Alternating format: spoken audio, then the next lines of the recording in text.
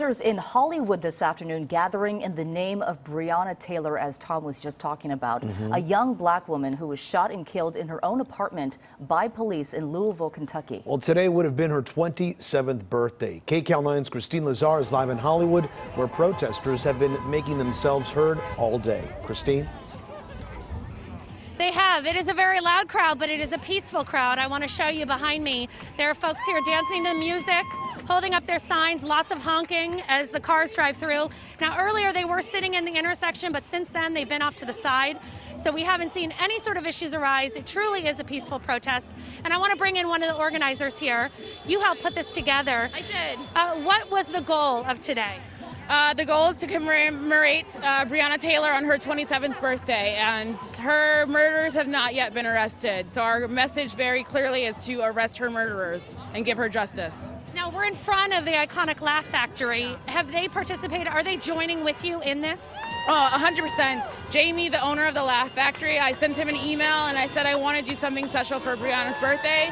And literally within 10 minutes, he picked up the phone and called me and said, What do you need? So he's offered bathroom for our female volunteers, he's offered electricity for our DJ.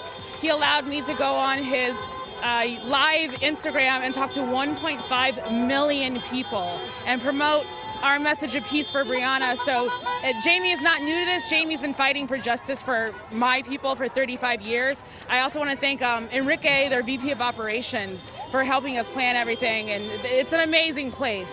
Can you describe the mood out here for those watching at home? Man, the mood out here is just so peaceful. It's so loving. Everyone is just here to celebrate Breonna. They're dancing, they're hugging, they're meeting each other. There's kids here. Um, I can't express how warm my heart is seeing everyone come out for her today. When people drive past here, when people watch this on the news, what do you want them to take away from this?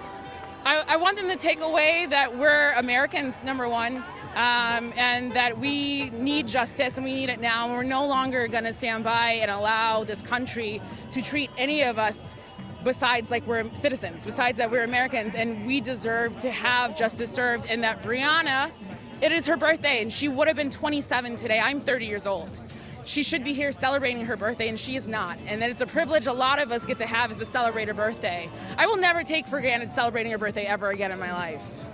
And so, what is the plan? How long do you anticipate being here?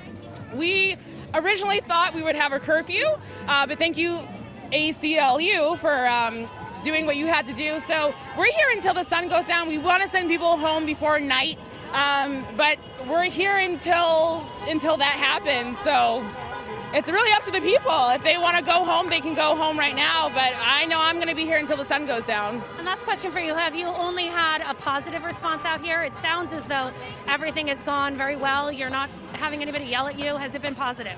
Completely positive. Maybe there have been one or two people yelling, but I, I don't think about those people. Uh, my message is very clear. Breonna Taylor, Taylor deserves justice. Um, but everyone else who's here to support, that's my focus. I, I'm here for these people, and anyone else who's not with us, get out of the way.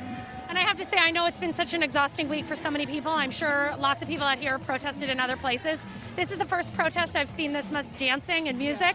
Is it also a time to just kind of release? Oh my gosh, yeah. Um, there's something about my people being black. We're not really allowed to be joyful a lot because we have to deal with racism. We have to deal with discrimination. So my message very clearly today was I want us to dance and smile and laugh because they hate it when we're happy. They want to see us sad. So today is about loving and celebrating life, period. So um, it was important after the last two weeks of just watching the news for everyone to decompress and be able to go home uplifted rather than so defeated. Thank you for your time. You, so again, we're here at the corner of Laurel Canyon and Sunset, and as you can see, a peaceful protest underway, and they will likely be here for several more hours. Back to you guys in the studio.